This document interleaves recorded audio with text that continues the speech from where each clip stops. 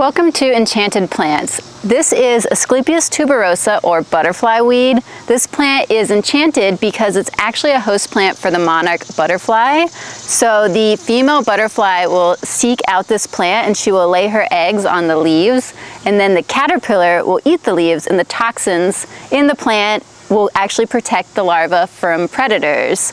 This plant is really magical because monarch caterpillars can only host on plants in the Asclepias genus. This one is native to the United States. It has these vivid orange blooms that start blooming usually around June and they will go for a couple of months. They have a really long bloom period. So the monarch butterfly is iconic. It's known for its orange and black wings, and it is a vulnerable species. So a way that you can help this beautiful insect is by planting milkweed in your yard.